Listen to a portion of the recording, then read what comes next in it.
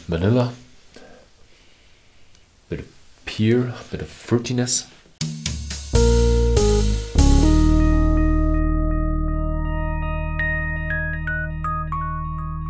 Hello and welcome to whisky.com, where fine spirits meet. Today we have a look at the Wild Turkey 81. And yeah, I've been at the Wild Turkey Distillery. If you are interested in the distillery, then please follow this link here. And you will learn a lot about the distillery. I will summarize a few key facts. The Wild Turkey Distillery um, is a Kentucky straight bourbon distillery and it uses only non-GMO grains and I think they use rye from Germany. Can't remember. I've I've talked about this in in the video.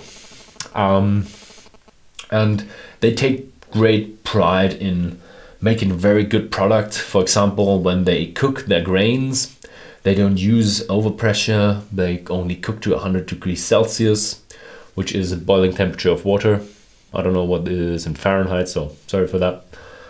I can do the proof, but I can't do the Fahrenheit. Fahrenheit is just a bit weird. Um, and it matured for six to eight years in casks. They don't write it here in the front. They write it here. Uh, we age ours longer, up to six to eight years in charred American white oak. So, hmm. so at least six years. So you could argue this is a age statement whiskey with uh, six years because it says six to eight years. You could argue that. Um, it has no coloring because it's a bourbon. Um, it's 40.5% alcohol by volume, and that means it's 81 proof. And I think that's why they call it 81. Oh, they have proof behind that. So 81 proof.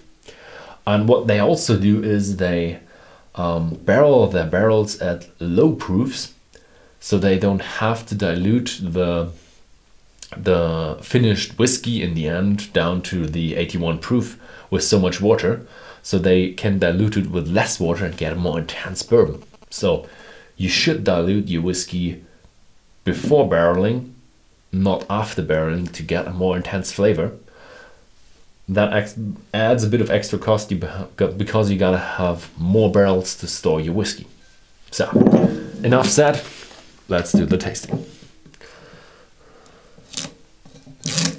Mm, I ripped off a little bit of the... And they never work. They never work as they're supposed to do. Ooh, it's a real cork.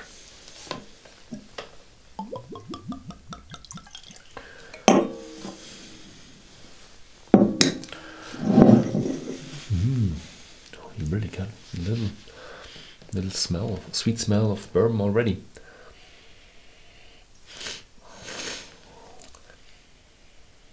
Mm -hmm. Vanilla,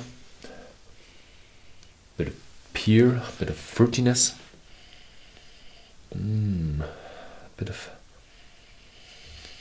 sp spiciness out it. Mm. it's it's strange. It's it is yeah, it is a typical bourbon.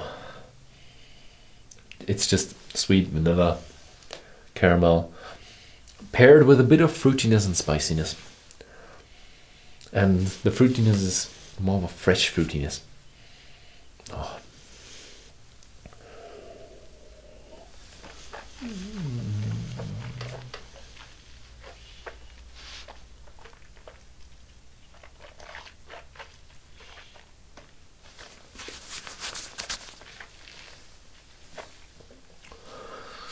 Mmm. Mmm. Ooh, very fresh taste. Bit of a citric apple pear thing going on. Bit of a minty freshness as well. Mm, very fresh for a bourbon. But nah, yeah, now comes the, the typical bourbon taste. Vanilla, caramel, sweetness bit of a sticky note. It's a it's a light bourbon, I would say.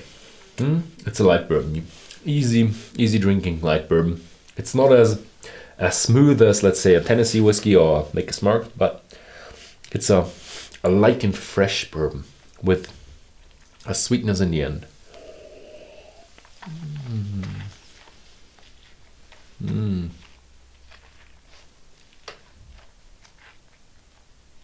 Mm. Yeah. Yep. Second sip is like the first sip, vanilla appears, bit of citric. And now it comes into the, the normal bourbon taste. Mm. So it's a, a good example for a light American Kentucky straight bourbon. Do they say straight? Yeah, they say straight. Okay, thank you very much for watching. If you'd like to know more about the Kentucky distillery, then please uh, go to whisky.com. We have a whole article about history, who it belongs now. We have the video, video on there and a lot of pictures how the Kentucky Straight Bourbon of Wild Turkey is produced. So, thank you very much for watching. And before I forget, if you comment below the video, then um, we will read the comments, but we will not uh, answer the comments. I'm sorry. But now in the in the forum, you can now um, go on to log in, and you can log in with your Google account. So it's it's really convenient. It's just two or three clicks, and uh, Horst and I will answer all your questions in the forum. Yeah, thanks for watching.